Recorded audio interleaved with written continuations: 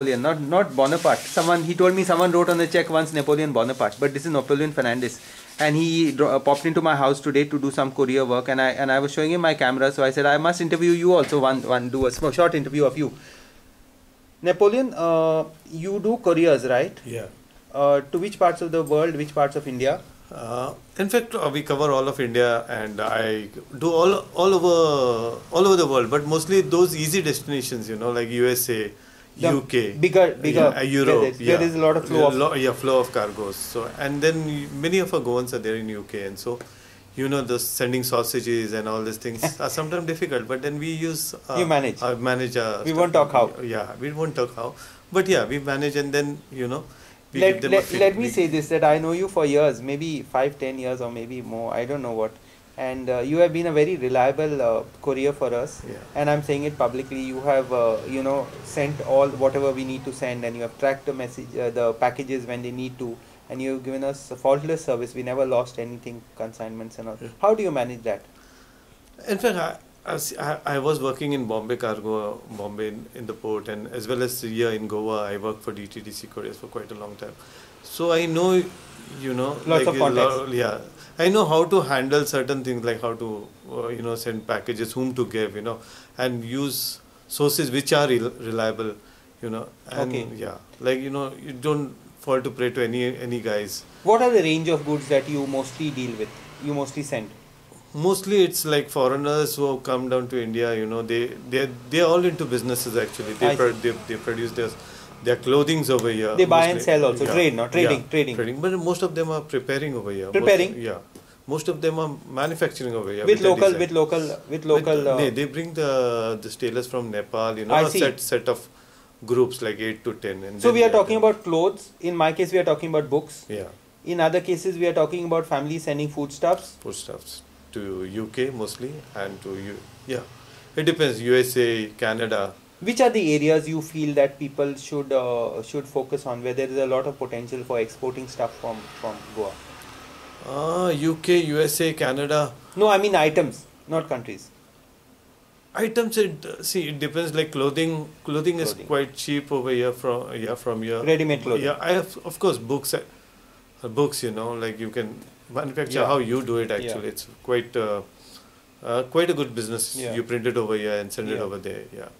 So Uh, homeopathic medicines. I see people posting in the post office, but that may not come through you, no.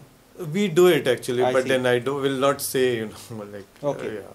But then we do it. We mix it up with clothes and everything. And we what else? across. And. Uh, These items. Yeah, these items. Mostly we do it to easy countries like USA, Canada, UK, uh, Australia. These are easy countries. What do you mean So- easy? Easy means that the customs are very easy. Like Okay. you know, you don't have problems with it. The person don't have to pay taxes over on that. Which side. are the tough countries? tough countries? Are you say Russia, Israel, and uh, there are many countries like South American countries are all tough. Like I same see. like India. Like you know, when the goods comes in and then. There are people, you know, like they want tax. They want to tax your goods, Yeah. and then it They becomes tax you to the difficult. maximum. I get I get postal items and I have to pay 800 rupees Yeah. just to check, you know, for Yeah. customs to Yeah. check them. in. Uh, we we face a problem for books in uh, for some reason in Canada and Portugal sometimes. You know. Yeah, They're but then we have the service. As I told you, we send it to Germany. Now Germany, they all the laws to European countries are the same.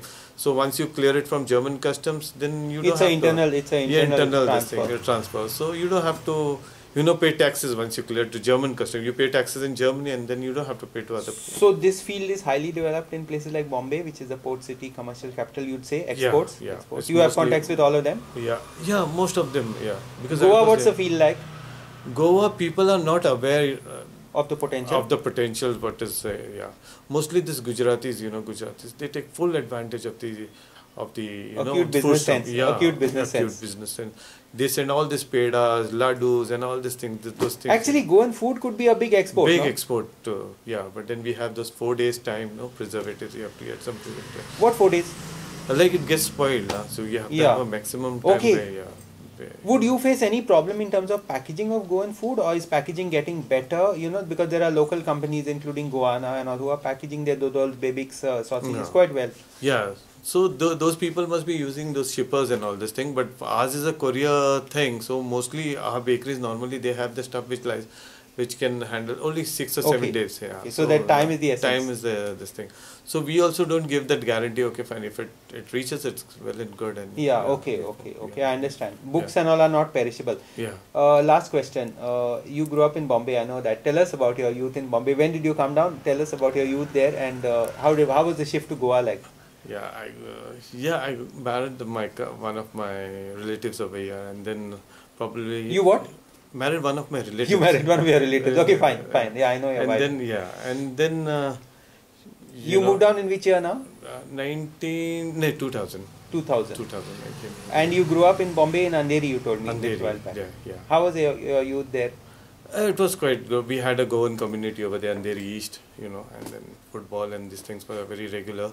Uh, uh, studied in Holy Family High School, uh, which is This a Jesuit school, and East Jesuit school. Jesuit school. Yeah.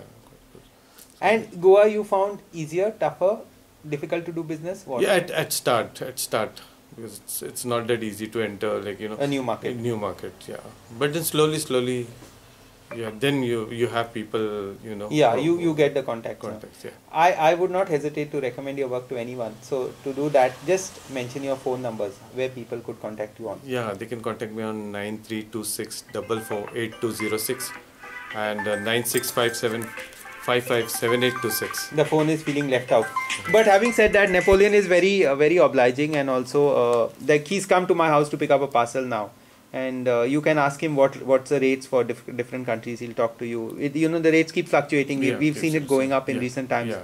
because of the war and all. But I'm sure he'll give you the best deal. All the best, Napoleon. Thanks a lot. Thank you. Thank you so much.